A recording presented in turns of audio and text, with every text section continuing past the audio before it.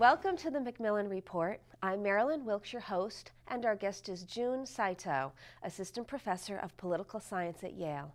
Professor Saito's research focuses on the institutional determinants of representation and redistribution, in particular, how choices of constitutional structures and electoral institutions translate into redistributive consequences. He teaches courses on Japanese politics, international relations in East Asia, and comparative political institutions.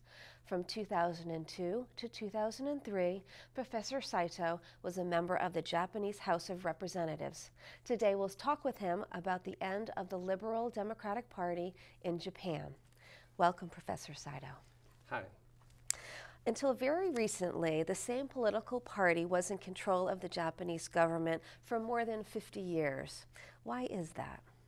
Well, there are two factors. Uh, one was uh, that the Liberal Democratic Party has been a very pragmatic party, and it, it did whatever it could to stay in power. It changed its policy platform very flexibly whenever it sensed uh, the risk of electoral defeat uh, in future elections. Second, the LDP was the largest uh, spender of pork barrel money in the world. Mm -hmm. for instance, back in the 1990s, uh, about 70% of the total government construction projects among OECD economies uh, happened in a single country, Japan. Mm -hmm. in some years, the Japanese government spent more money than on, on construction projects, government construction projects, than the US government spent uh, on their military wow. uh, in terms of the uh, gross amount. That's how uh, the LDP stayed in power uh, for such a long time, almost uninterrupted. Okay. So I understand that Japan hasn't been, has been a democracy during that period. Mm -hmm. um, and that the same party kept winning over and over again. Is it because the people simply liked the um, that party and its policies? Japan has been a democracy in the sense that elections took place periodically and mm-hmm. frequently. Uh, but on the other hand, um, what is puzzling is that people did not necessarily like the party uh, at all. Mm -hmm. If you take a look at internationally comparable uh, opinion poll surveys, uh, for instance, the Japanese people's trust uh, in the government institutions and the politicians they elect uh, is the lowest among OECD economies. Uh, I mean, countries uh, with advanced industrial uh, democracies. Okay. And uh, additionally, violent oppressions of opposition party leaders, for instance, have been absent, which had been problem problems in many other what is called electoral authoritarian regimes. Japan was different from those types of political systems. Okay, so uh, what happened? Um, what happened to the um, this Democratic Liberal Party? It's Liberal Democratic Party. Yes, I'm sorry. It's no longer in power. Mm -hmm. So what happened? There are several factors. I'm actually writing a, a book about uh, okay. uh, the end of the LDP dominance mm -hmm. uh, in Japan. First of all, the government has almost exhausted the monetary resources out of which they could uh, slice uh, policy benefits uh, to their supporters.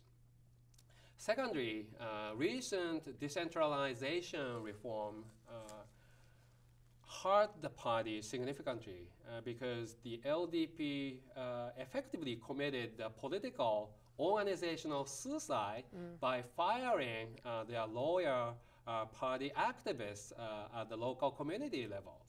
Uh, in Japan, uh, unlike many other democracies in the world, local politicians, politicians who serve in the municipal legislatures and mayors, um, were the almost paid activists for the Liberal Democratic Party. And because of the recent municipal uh, government consolidation efforts uh, pursued by the LDP, a large number of politicians at the local level uh, lost their jobs. And because they were no longer uh, faced electoral pressures to, uh, uh, for themselves, they lost the incentive to campaign for the party. And I am arguing that that was the largest mistake the LDP government uh, Okay. So, what lessons can we learn from the Japanese experience? Well, democracy is uh, more than periodic elections. Mm-hmm. In order to have a healthy uh, democratic uh, governance uh, in a country, uh, we need something uh, more. Okay. And that said, democratic institutions, in particular electoral institutions, are the labor contract uh, between the citizens and the political leaders. Mm -hmm. If those rules of elections are poorly designed, citizens have difficulty getting the job they want uh, done by the government.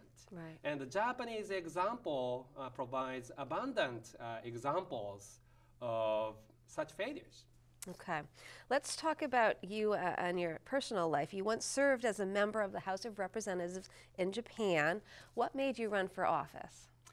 Well, I was young, brave, and naive mm -hmm. uh, in mm-hmm. many senses. Uh, I was 33 years old when I ran for office, mm -hmm. and mm-hmm. I was a fourth year uh, doctoral student uh, in the PhD program uh, in political science uh, here at Yale.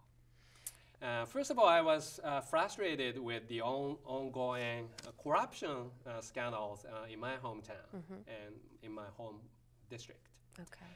Second, I was in the middle of drafting a dissertation on pork barrel politics in Japan, and I literally plunged into it myself. And I thought that somebody um, might have to show a viable alternative to the conventional way of politics to the voters. And I won the by election, which filled the vacancy that was created by a resignation of my predecessor, who was himself involved in a campaign financial uh, scandal. Mm-hmm. Okay, so when, while you were in office, uh, what were some of the things that you were able to accomplish? Uh, not much because I was there uh, Uh, okay. but uh, with that very brief experience, I think I learned a lot. Okay. Is On the other hand, um, my social science background uh, helped me a lot in formulating policies. Some of my policy proposals were later adopted by the DPJ's electoral manifesto. Mm -hmm. Is a year the normal amount of time that someone is elected to? Actually, very brief. Okay. Uh, my predecessor, for instance, uh, had inherited his electoral support base from his father, mm-hmm. and his supporters, his supporters groups have been there for more than half a century. Right. Okay. And that's the idea about uh, long-term serving uh, mm-hmm. politicians in Japan. Actually, many of the seats are effectively hereditary uh, roughly half of the politicians that belong to the Liberal Democratic Party were multi-generation uh, politicians who inherited uh, the electoral support base. So it was really amazing that you would have been elected because the other candidate had so, had, had so much support. Mm -hmm. Yeah. So I ran from the opposition party at that time mm -hmm. in one of the districts which was regarded as the LDP's stronghold. Uh-huh, okay. Uh, there are several reasons. Uh, one reason was voters were obviously frustrated with the way uh, politics uh, was taking place uh, in that area. Okay. Second, mm-hmm. because everybody knew that my predecessor would try to come back sometime soon, nobody was seriously considering running. Mm-hmm. And I simply volunteered to run. But because Japanese voters place more emphasis on ascriptive or descriptive representation, they want uh, their representatives who look similar to themselves. Mm -hmm. uh, for that particular reason, I didn't emphasize very much of my Yale educational background. Uh, instead, uh, I emphasized the fact that I grew up in the farm, mm -hmm. and my parents are still farming in that area. Okay. All right, let's talk about um, your newest work. I understand you're, you have a new book you're working on. Mm -hmm. Can you tell us about it? Yes, uh, my book project is about uh, everything I have just uh, said about the mm -hmm. Liberal Democratic Party. Okay. Uh, it's going to be about the end of the LDP dominance mm -hmm. in Japan, but I'm writing a book uh, so that uh, it will be useful and interesting for scholars who study uh, other political systems. Uh, for instance, politics of China or politics of Latin America. Mm-hmm.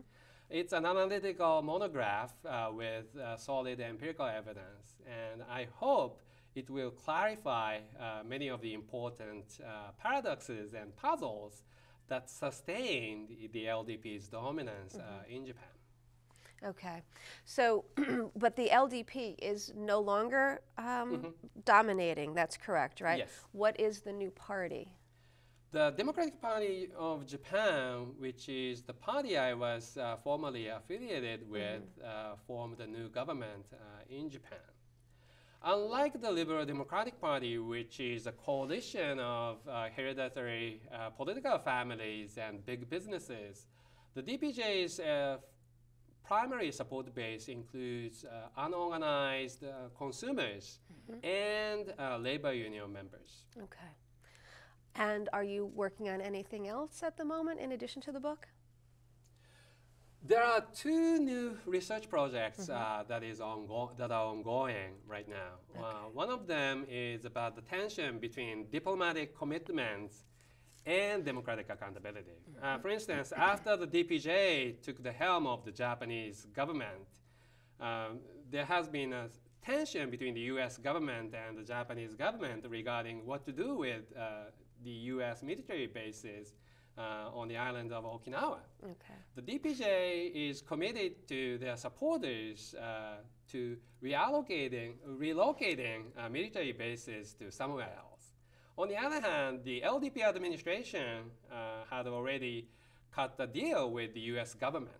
And we expect a lot of tensions uh, between electoral accountability and diplomatic commitment. Mm-hmm. In fact, not, it, it, was not only the Japanese government, but South Korean and Taiwanese governments uh, faced a similar situation when they uh, experienced the partisan turnover in their own government. Mm-hmm. So I'm organizing an international uh, joint research project that explore this uh, important policy issue. Mm-hmm. Okay. Aside from that, uh, I'm interested in this is my personal aspiration, but mm-hmm. I'm thinking about writing a book about political culture and rice eating habit uh, in East Asian civilizations. Okay. Can you expand on that a little bit more? I grew up uh, on a farm, as I have just mentioned, mm-hmm. and the pattern of collectivist uh, oriented political behavior is deeply rooted in rice farming uh, economic structures uh, historically mm-hmm. in East Asian uh, countries. Okay. And I'm exp- I'm interested in exploring this uh, more uh, deeply and analytically with uh, quantitative and qualitative uh, evidence. Okay, very good. Well, thank you so much for being here with us today and sharing some of your work. Thank you very much. It's my pleasure. For more information about Professor Saito and his work, please visit our website at yale.edu backslash Macmillan Report. Be sure to join us again for another episode of the Macmillan Report, made possible through funding from the Whitney and Betty Macmillan Center for International and Area Studies at Yale.